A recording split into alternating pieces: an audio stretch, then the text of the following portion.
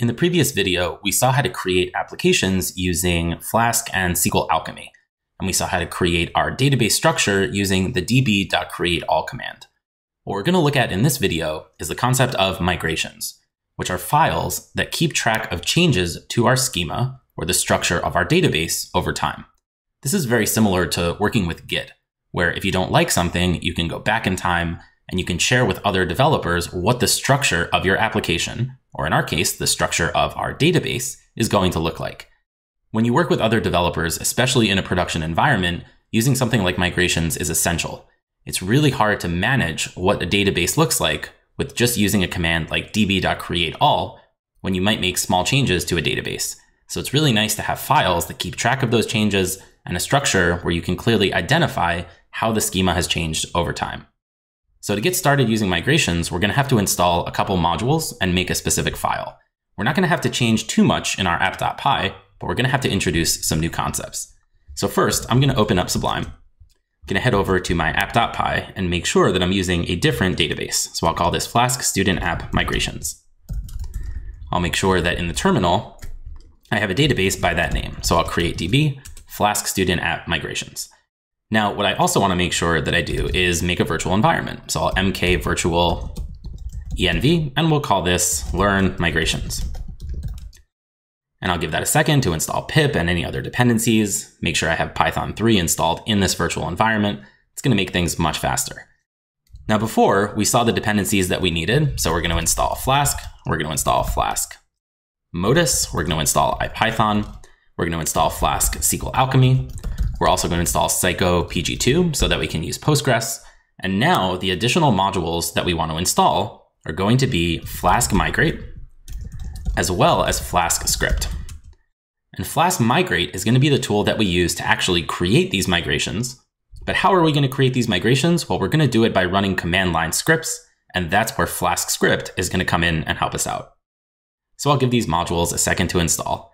And what we need to do is set up a file where we're going to configure how to run our migrations as well as how to run them from the command line. So we're going to call that file manage.py. I'm going to open this up in Sublime. And the nice thing about our manage.py is you're usually going to find yourself writing very, very similar code each time. We're going to start by importing from our app the DB and the app variable. We're going to need the app variable to tell Flask about the application we're working with. And we're going to need DB to tell Flask migrate specifically what database we're going to make migration changes to. We're also, from Flask script, going to import a class called manager. And the manager class is going to be where we add specific commands to run from the command line. One more thing we're going to import from Flask migrate. What are we going to import? We're going to import two classes, one called migrate and the other called migrate command. Migrate is the class to configure our migrations, which we can store in a variable that's going to accept the Flask application and the DB variable. Remember, the DB variable is the SQL Alchemy instance for our Flask application. Just to show you what I mean by that, that's this line right here on line 8. Back in our manage.py, we want to make another line. It says manager is going to be the manager class with our app. Remember that manager is the class that we import from Flask script, and manager is what we're going to use to configure command line scripts. The question is, what command line script are we going to be running? We're going to be running the generation of our migrations.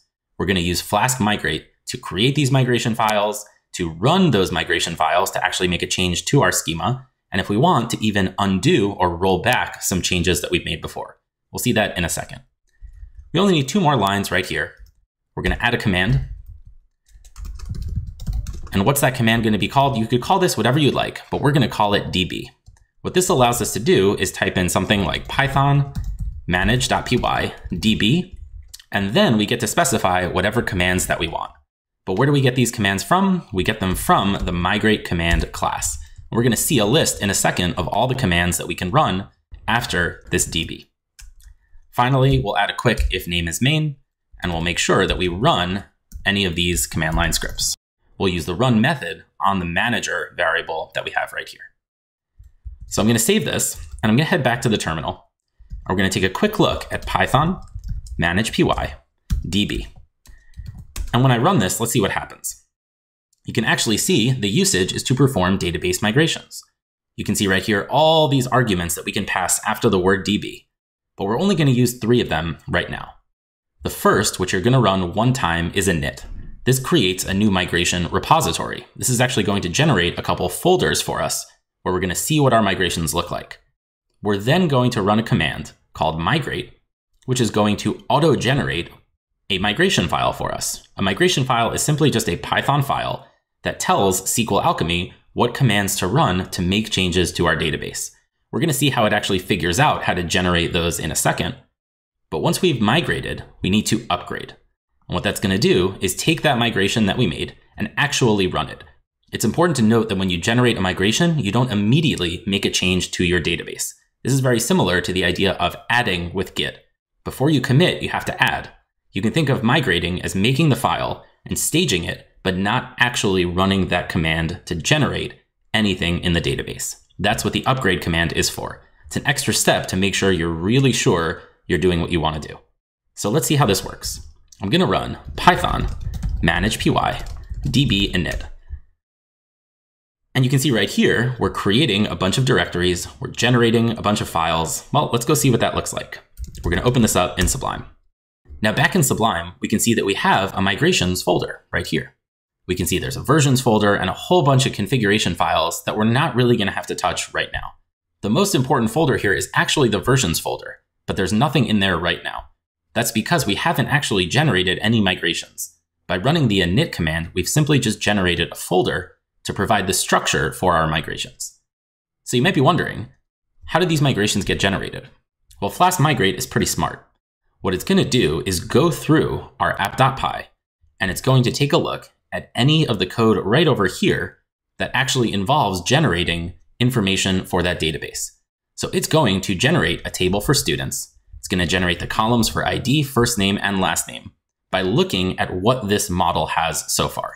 Let's see what that looks like. I'm going to go back here. And what's the command that we use to generate our migrations? Python manage py db migrate. We're going to run this command, which generates a file in the migrations folder called 9f etc.py. Maybe that's not such a great name. We'll see how to change that in a little bit. But back in our migrations folder, we now have this Python file, which has two commands, upgrade and downgrade.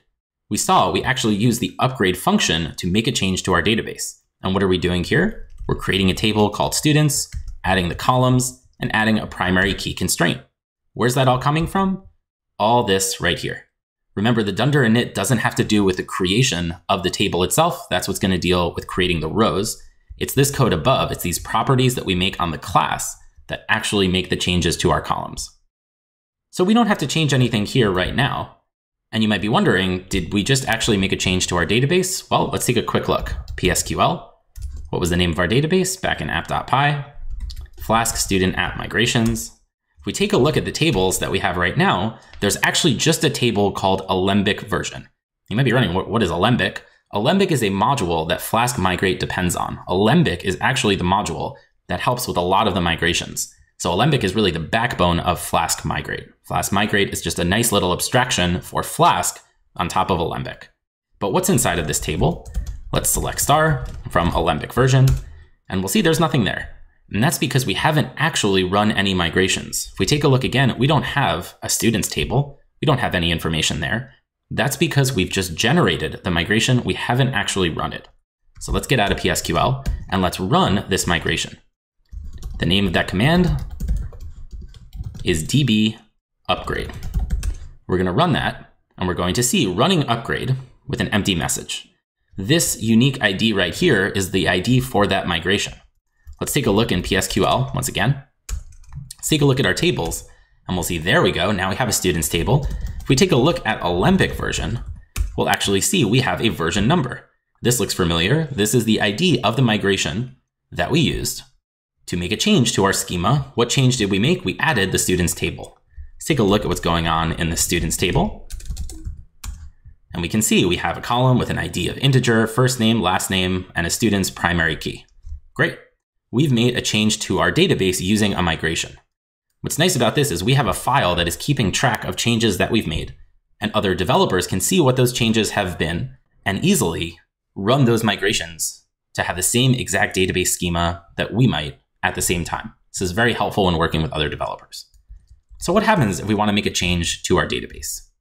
Let's imagine that we want to add another column. We're going to add a column for favorite color. And that's going to be a db.column with another db.text. We don't have to worry about this just yet, but if we want, we can even add it.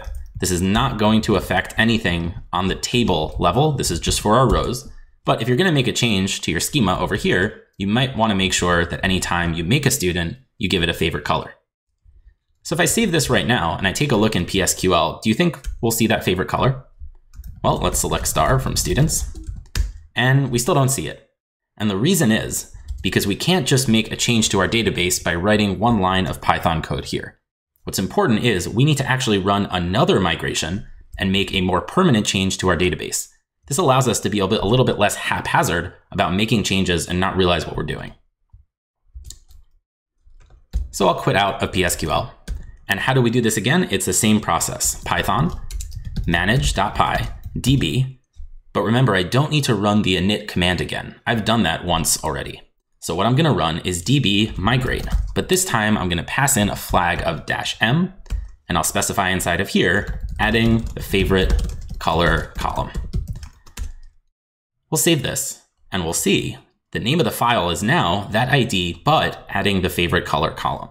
It's really important to give your migration some kind of message so that when you take a look back in Sublime, you can clearly get more of a description as to what's happening here. So what's happening in this migration? We're adding a column to the students table called favorite color, which is text. And if we want to downgrade or roll back, all we do is drop that column. So one more time, let's go back to PSQL and make sure you understand what's going to happen here.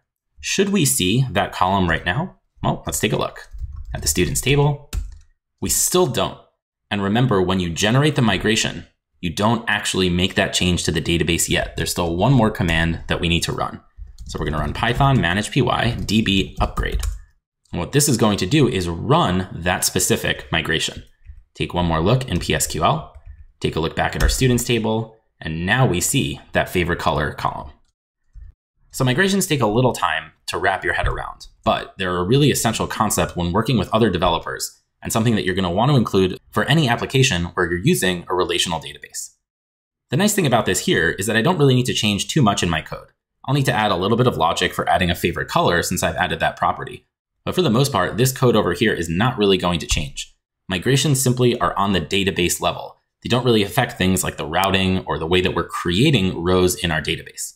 What's important about migrations is we now have files that we can use to keep track of changes to the database and that we can share with other developers so they can take an empty database and immediately get up to speed with changes that we've made.